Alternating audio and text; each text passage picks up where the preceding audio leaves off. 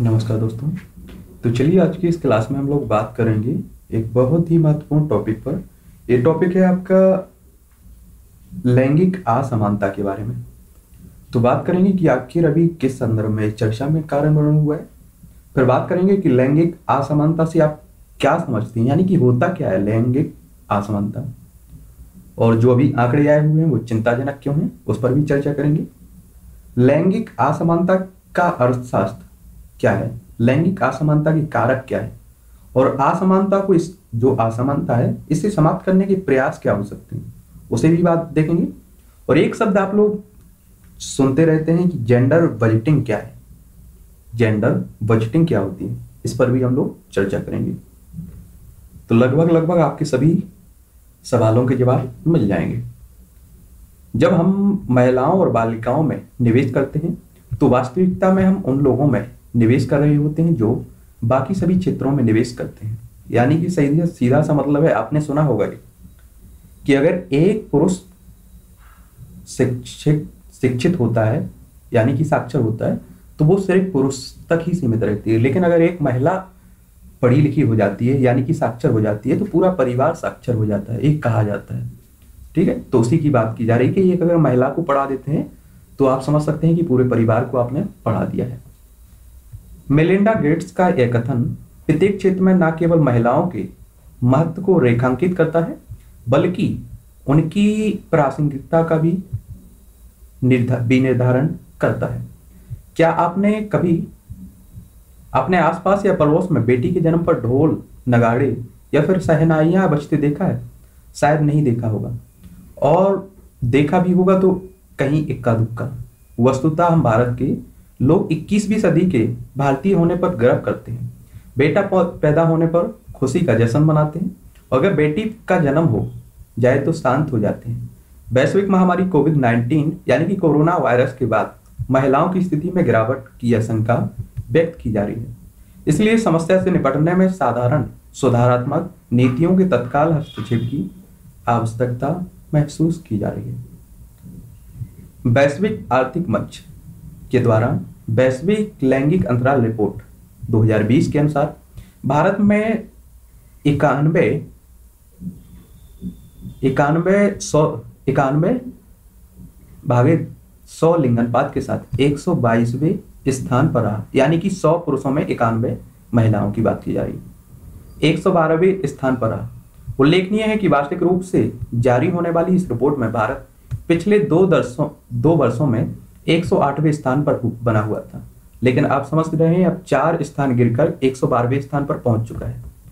महिला और पुरुष समाज के दो मूल आधार हैं। समाज में लैंगिक असमानता सोच समझकर बनाई गई एक खाई है, जिससे समानता के स्तर को प्राप्त करने का सफ़र बहुत मुश्किल हो जाता है। एक बात आप लोग समझते हैं कि साइकिल, फिर चाहे आपकी बाइक हो, जिस तरह से उसमें दो टायरों की ज़रूरत होती है आप सोचें कि एक टायर पर आप साइकिल चला सकें या बाइक चला सकें या कोई और साधन चला सकें एक टायर पर तो नहीं चल सकता है ना? लेकिन हम उस महत्व को नहीं समझते हैं। इसी तरह आपने देखा होगा कि पेड़ बचाओ वन बचाओ बेटी बचाओ चल रहा है। आप समझिए कि पेड़ों को बचाने की ज़रूरत है। जिन्होंने हमें जन्म दिया है अगर उसे ही बचाने की बात कर, की जाने लगी तो शायद हम बहुत पीछे जा चुके हैं। कहने के लिए इक्कीसवीं सदी में पहुँच गए लेकिन उसके लिए बहुत पीछे धकेल दिया गया है क्योंकि हम हमेशा जानते हैं कि अगर पेड़ खत्म हो जाए तो शायद हमारा जीना संभव ना हो पाए। इसी तरह सोचिए आप लोग कि अगर लिंगनपात में गिरावट आती है तो हमारे ही अस्तित्व पर खतरा मडरा रहा है। कहने का मतलब सीधा इतना सा है। लैंगिक असमानता के विभिन्न क्षेत्रों की बात करें तो इसमें सामाजिक, आर्थिक और राजनीतिक क्षेत्र के साथ साथ वैज्ञानिक क्षेत्र, मनोरंजन क्षेत्र, चिकित्सा क्षेत्र और खेल क्षेत्र प्रमुख है। लैंगिक असमानता की इस खाई को दूर करने में हमें अभी मीलों चलना होगा इस आलेख में लैंगिक असमानता के कारणों में पर न केवल चर्चा की जाएगी, बल्कि समस्या का समाधान तलाशने का भी हम लोग प्रयास करेंगे। सबसे पहले बात करते हैं लैंगिक समानता, असमानता से तात्पर्य क्या होता है? लैंगिक असमानता का तात्पर्य है कि लैंगिक आधार पर महिलाओं के साथ भेदभाव से, परंपरागत रूप से समाज में महिलाओं को कमज़ोर वर्ग के रूप में देखा जाता रहा है। बेघर और समाज दोनों जगहों पर शोषण, अपमान और भेदभाव से पीड़ित होती हैं। महिलाओं के खिलाफ भेदभाव दुनिया में हर जगह विचलित है। वैश्विक लैंगिक अंतराल रिपोर्ट 2020 के अनुसार भारत एक सौ तिरपन देशों में 112वें स्थान पर आया है। इसमें साफ़ तौर पर अंदाज़ा लगाया जा सकता है कि हमारे देश में लैंगिक भेदभाव की जड़ें कितनी मज़बूत और गहरी हैं। चिंताजनक आंकड़े हैं। कैसे? वैश्विक लैंगिक अंतराल रिपोर्ट 2020 के अनुसार महिला स्वास्थ्य और उत्तर जीव, जीविता तथा आर्थिक भागीदारी के मामले में भारत सूची में निम्न स्थान प्राप्त करने वाले पाँच देशों में शामिल है। स्वास्थ्य एवं उत्तरजीविता के क्षेत्र में भारत एक स्थान का प्रदर्शन बहुत खराब रहा है जबकि भारत के मुकाबले हमारे पड़ोसी देशों का प्रदर्शन बेहतर रहा है जिनमें बांग्लादेश 50, नेपाल 101, श्रीलंका 102, इंडोनेशिया पचासी चीन एक स्थान पर। जबकि यमन एक सौ तिरपन और इराक एक सौ बावन पाकिस्तान आपका एक सौ इक्यावन। समझ रहे हैं हम लोग? सबसे गिरी हुई स्थिति में खड़े हुए हैं। पाकिस्तान से हमारा तुलना की जा रही है। राजनीतिक सशक्तिकरण और भागीदारी में अन्य बिंदुओं की अपेक्षा भारत का प्रदर्शन अठारहवा स्थान बेहतर रहा। लेकिन भारतीय राजनीति में आज भी महिलाओं की सक्रिय भागीदारी बहुत ही कम है। आंकड़ों के अनुसार केवल चौदह प्रतिशत महिलाएँ संसद तक पहुँच पाती हैं।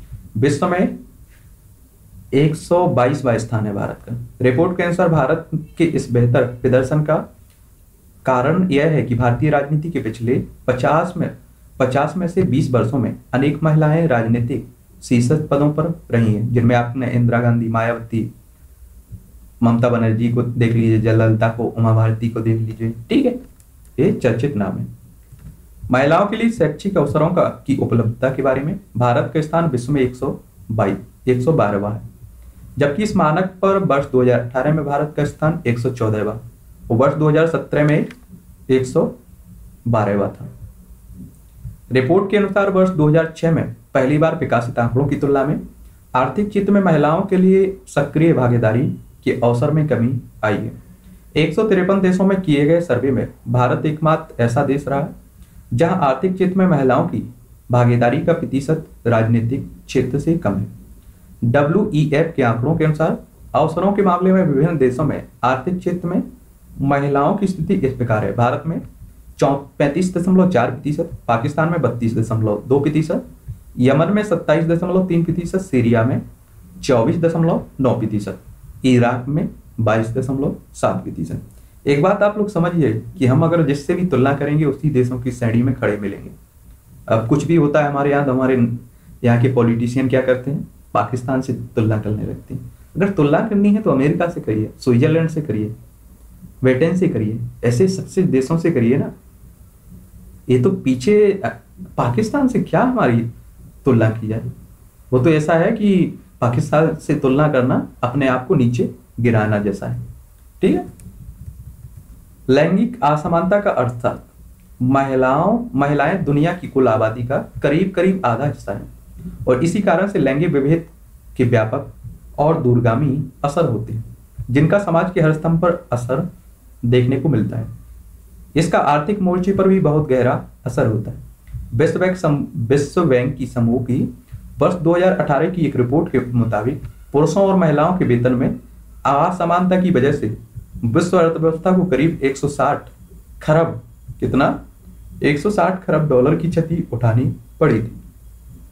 यह एक बड़ी हानि है, जिसकी व्यापकता का अंदाज़ा लगाना भी मुश्किल है। खासतौर से जब हमें यह पता चलता है कि अगर पुरुष और महिलाएँ कामगारों का वेतन एक समान कर दिया जाए तो इससे विश्व की संपत्ति में हर व्यक्ति की ज़िंदगी में करीब तेईस हज़ार तेईस हज़ार छह सौ बीस डॉलर की वृद्धि हो जाएगी। लैंगिक असमानता के कारक क्या क्या है, उन्हें देख लीजिए। सामाजिक, आर्थिक और राजनीतिक प्रगति के बावजूद वर्तमान भारतीय समाज में पित्त, सत्तात्मक, मानसिकता जटिल रूप में व्याप्त है। यानी कि पिता को महत्व दिया जाता है। आपने देखा होगा कि पिता की संपत्ति में बेटों को हक देने का चलन है हमारे देश में।